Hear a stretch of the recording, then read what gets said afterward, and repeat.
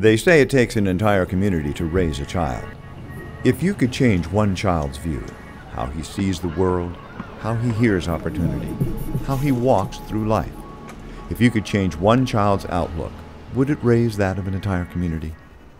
At Point Breeze, we've been using the performing arts for social change for 25 years, and the community results are truly dramatic. Please support the Point Breeze Performing Arts Center, changing our community's outlook, one dance step at a time.